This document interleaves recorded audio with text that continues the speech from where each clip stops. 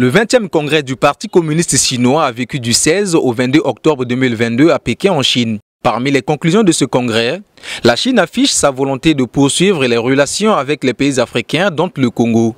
Ainsi, plusieurs admirateurs congolais de la politique chinoise ont apprécié cette orientation. La coopération sino-congolaise, euh, je pense que c'est une coopération euh, extrêmement importante pour euh, l'évolution et le développement de notre pays, le Congo.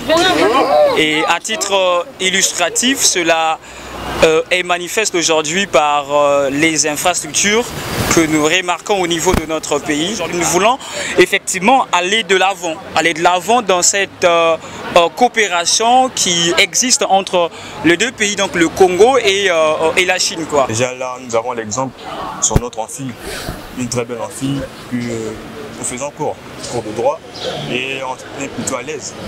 Et quand on voit encore d'autres édifices comme la corniche, le viaduc, donc on voit que non, la coopération nous aide aussi au Congo et que le Congo en bénéficie plus. Étudiants qui partent, étudiants en Chine grâce euh, à la coopération. Et il y a aussi d'autres Chinois qui arrivent ici, qui arrivent à travailler paisiblement à cause de la coopération.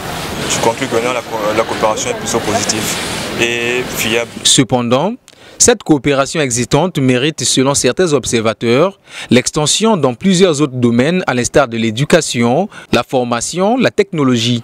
Je vois que cette coopération s'y limite seulement dans la construction, euh, dans les relations diplomatiques et politiques.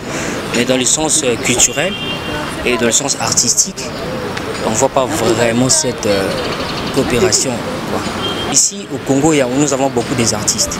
Nous avons beaucoup d'artistes qui sont dans l'ombre, même dans le sens cinématographique même dans le sens cinématographique, dans le sens de la peinture et surtout dans le sens du design et de, de la conception numérique. Donc, il y a tellement beaucoup de points. Moi, j'aimerais que cette relation-là puisse toucher aussi ces domaines-là.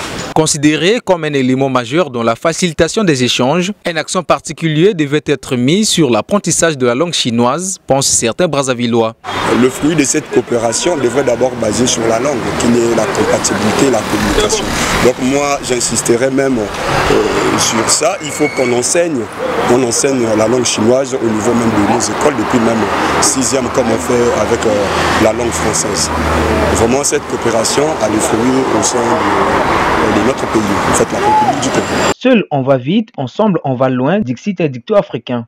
Pour une coopération sino-africaine qui se veut fructueuse, selon les perspectives de l'agenda 2063 de l'Union africaine, la Chine et le Congo sont donc liés par une amitié et une coopération prometteuse. Il est temps de saisir l'opportunité offerte par la modernisation chinoise pour aller plus vite et plus loin.